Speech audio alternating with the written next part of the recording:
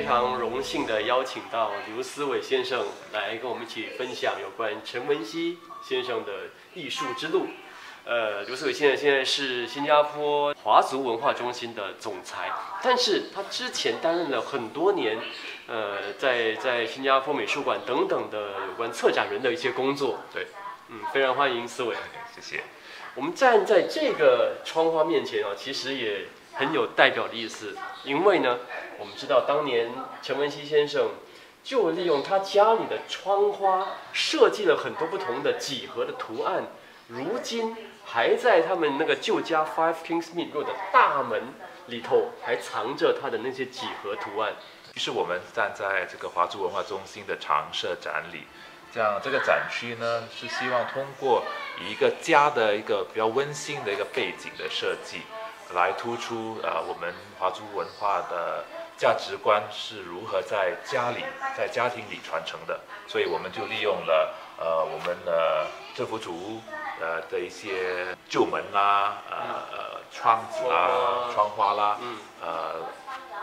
把它融入在我们的展览设计里。也就是说，可以可能就是陈文熙那个年代那个那个窗花哦，就是五十年代、六十年代时候的那个窗花，对对，图案，这些都是有好几十年的历史了。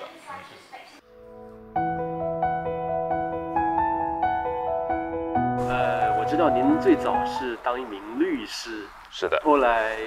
就是转变这个跑道，呃，进入到艺术美术的这个领域里头。对。可是，其实，在这个过程当中，其实你很早就对美术很感兴趣，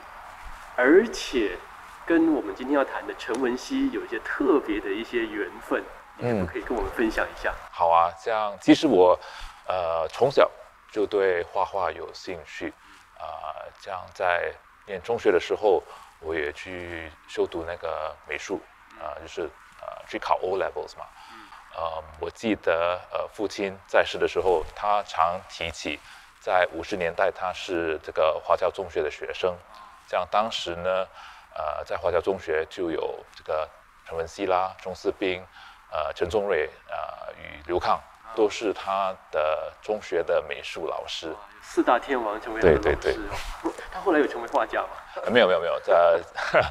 之后呃，父亲没有从事美术的工作，但是对，所以他因为父亲了解到我对美术有兴趣，这样在。一九八二年的时候，他听到，呃，他的美术老师陈文熙先生在这个国家博物馆画廊，呃，举办了一个个展，这样他就带我去看，这样当时应该是第一次看到陈文熙的作品。嗯，OK，所以那时候你是中学，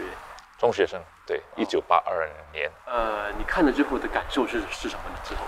其实呃。参观了展览之后，我对这个作品有非常深刻的印象。啊，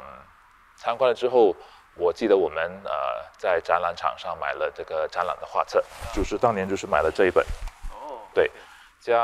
呃，其实我非常喜欢陈文熙的这个水墨画，尤其是他的呃花鸟的作品，我觉得他表现这些小动物啦、呃鱼啦，或者这这。呃，露丝啦，都呃表现得非常生动可爱，所以当时呢，呃，我记得我特别喜欢里面的一些图片，呃，还把它剪了出来，你可以看。哦，这是剪出来的。对对对对，呃，也不小心把它剪破了，所以把这些图片剪出来之后呢，我们还把它装上镜框，呃，挂在家里欣赏。所以就欣赏了好几年吧。哦，他陪伴你很多年的时间，所以你在画画的时候也看他的他的作品。偶尔吧，偶尔。会影响你的这个审美，你的画作的那种技巧吗？刚我看到没有吧，因为当时我我还很年轻。对对，这样在学校呃学美术的时候，我们也没学到这个水墨画，主要就是西洋的一些媒介。对对，但是很巧了，就是经过了二十多年，我。有机会在新加坡美术馆呃当这个策展人，这样当时的美术呃馆馆长就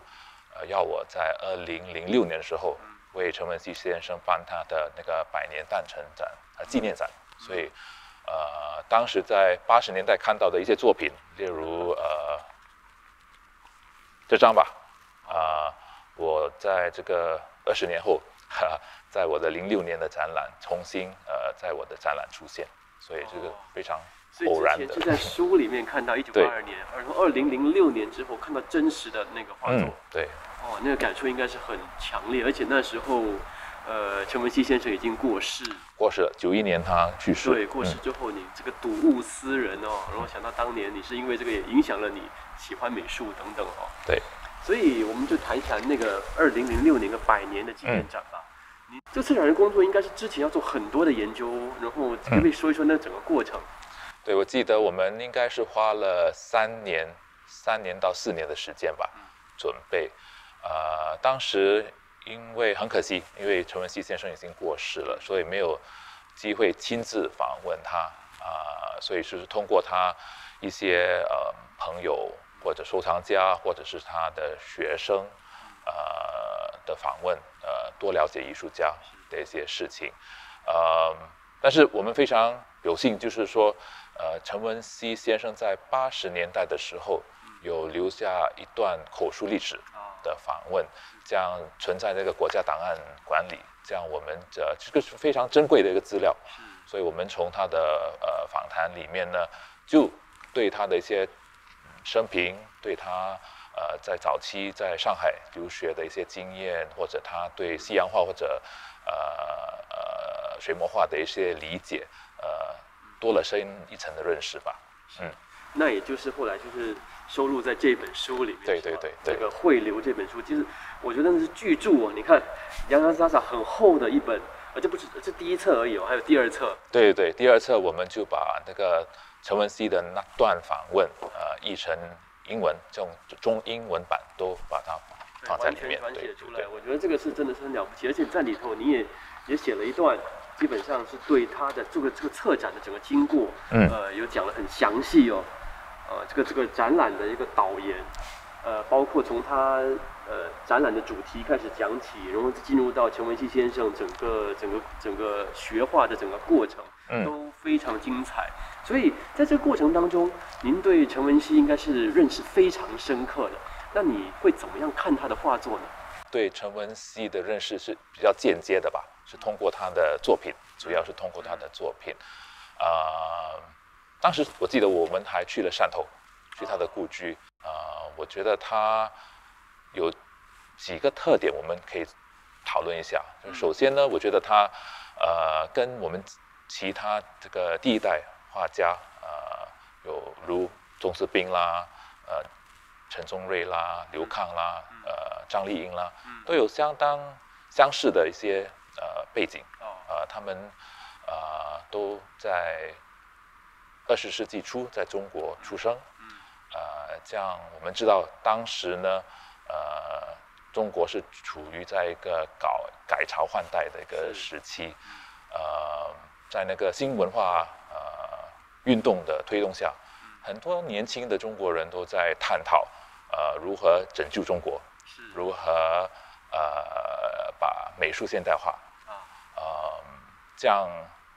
这也。导致了当时的美术学院呢，开始提倡如何把那个美术课程现代化，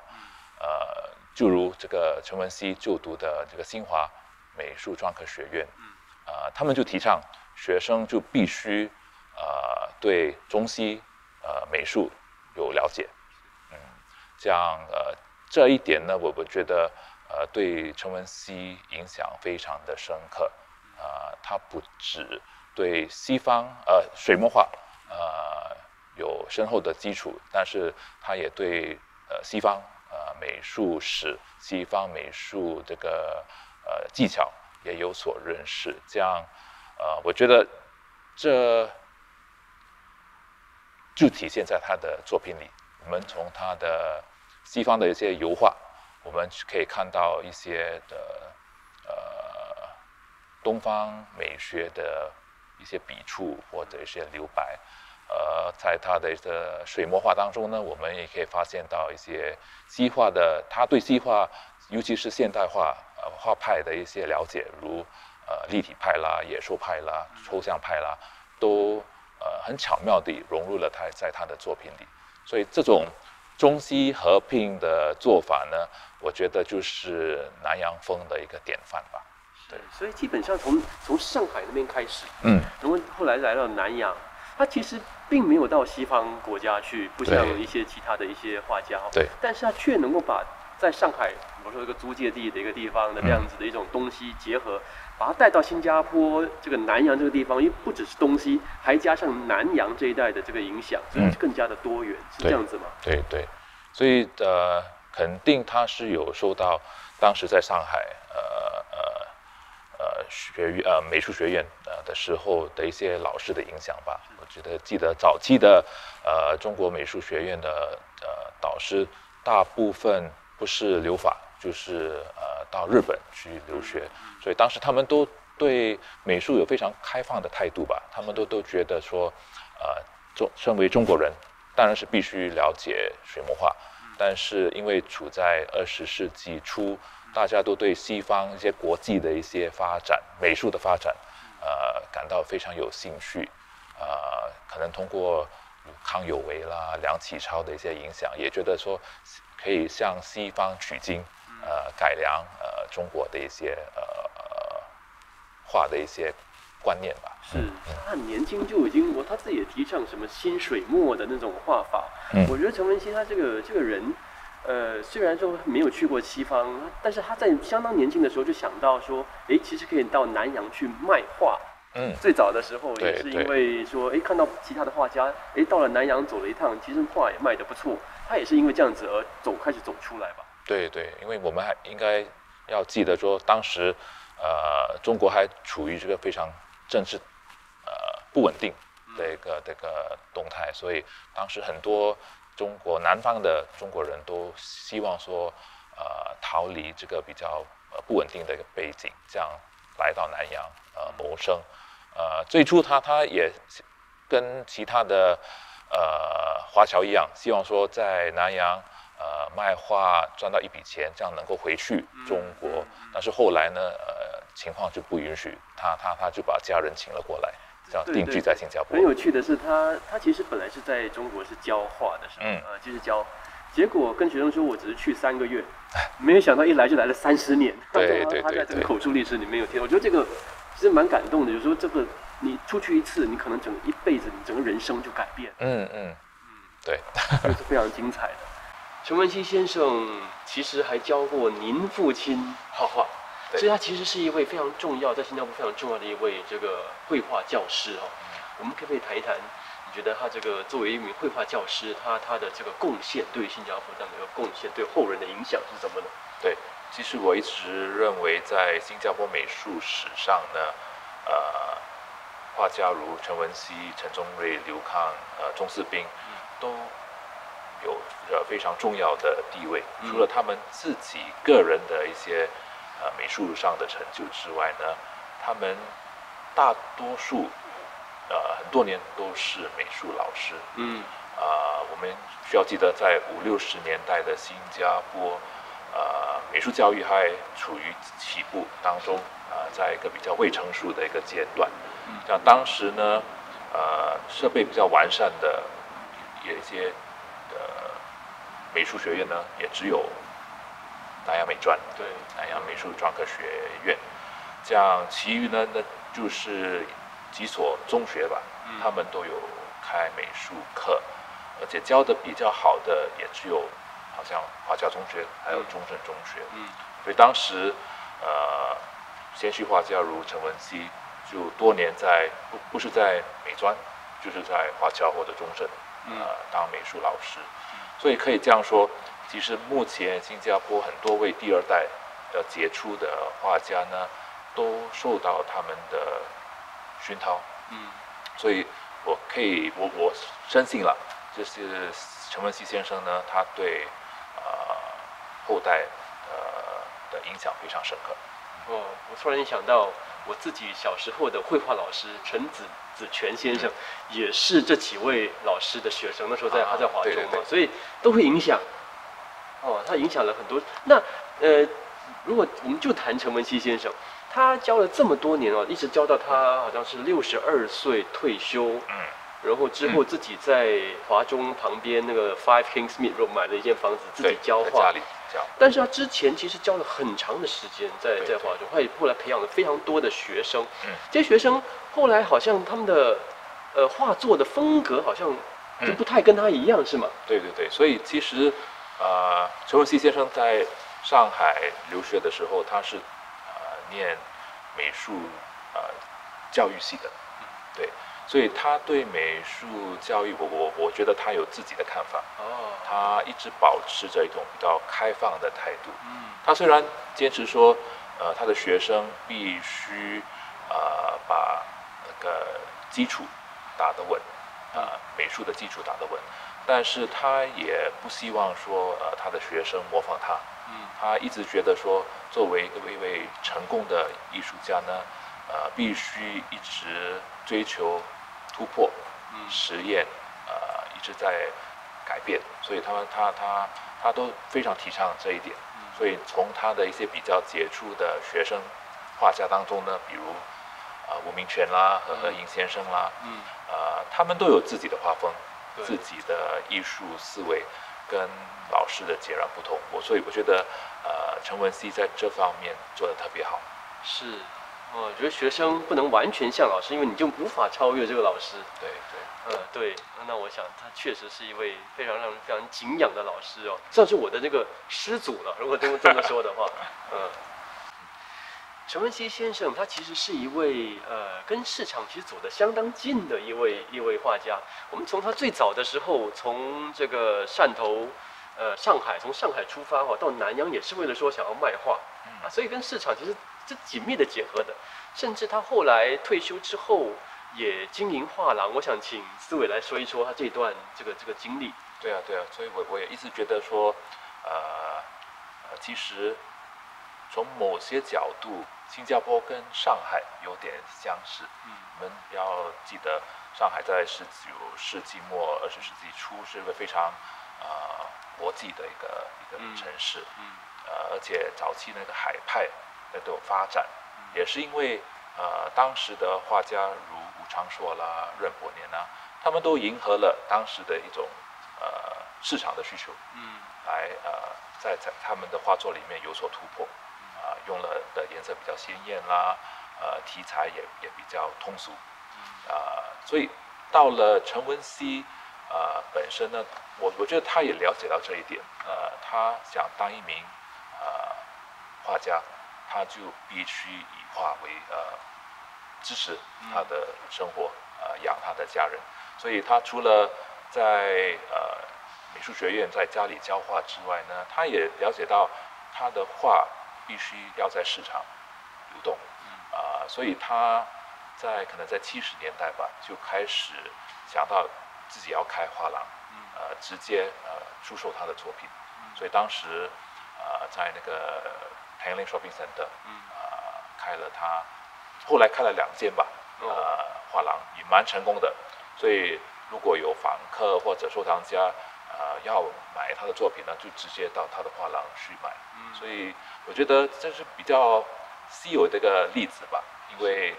呃一般的画家都都希望说哦自己是纯粹的画家，呃跟市场呃要保持一种距离，嗯，但是陈文熙就嗯没有这种呃态度吧，对，他就亲近市场，而且他第二间那个画廊还以他自己的名字为那个画廊的名字哦。嗯嗯对所以我觉得他就很很开放的，让人家知道我这就是我的画廊。对对对对而且这样子做其实帮助他的画在市场上更多的流通，更多人认识他。对对对吧对对，所以我我我觉得他他对于推广自己的一些作品，呃呃，他做的工作蛮多的，所以他也不排斥说呃做示范，所以在他的画廊里面，他时常如果有访客或者厂家呃想多了解他如何创作的话，他也当场哦也很乐意做一些示范，尤其是用纸头画画。对他的纸画也是一绝哦，从在在上海那段时间学了之后，就一辈子其实一直跟着他。嗯，对。哦，他他过后其实常到世界各地去去办展览，办展览的时候也当场示范，也通常会以纸画嗯为其中一个示范的一个方式，是吗？对对对。我们在今天的这个华城文化中心里面发现了一个宝，这个宝跟陈文熙很有关系。也跟各位的口袋里面、皮夹里面的那个很有关系。我们再请思伟来说一说了吧。对啊，所以呃，大家都可以看到这里有一张五十块钱的钞票。所以当年那个货币局在构思这个设计的时候呢，他们就请了，我相信应该是请了国家博物馆呃的那个策展人提供两幅作品了。所以当时呢，他们就选择了一幅是呃钟士斌的一个渔村的图图案，所以我们这里有个复制品。像第二张呢，就是陈文熙的水墨画，看到呃紫色的两只猿猴，就是抽取从呃陈文熙的作品抽出来的。所以原画是在新加坡的那个美术馆里头，对，在我们的国家收藏里，是在我们每一个人的口袋里面。其实我们口袋里面有这个宝新加坡的艺术先驱陈文熙先生的这个两两只很重要的这个猿猴。知道这个猿猴的作品，其实有个比较特别的一个历史。我不知道啊，所以当时当时陈文熙呃创作这幅画的时候呢，他有提了一个小款，呃，但提了之后，他发现哎，其实他漏了一个字，这样他就准备把这张画毁掉、丢掉。刚好呢，可能他身边呢就有一位好朋友，就是卢明德医生，德德二路。也是他的收藏家，像卢明德医生看到这幅画画的特别好，特别的生动，就要求呃画家呃让他保留下来。这样之后呢，呃就就进入了卢明德医生的私人收藏。这样过了好几年，呃，卢明德先生就把这幅画捐给了国家，所以之后呃国家就收收了这幅作品。天哪！可是太有意思，他虽然说不完美，就是它意思是在他的不完美当中。而且我觉得可能就是卢明德医生帮我们救回了我们的五十元。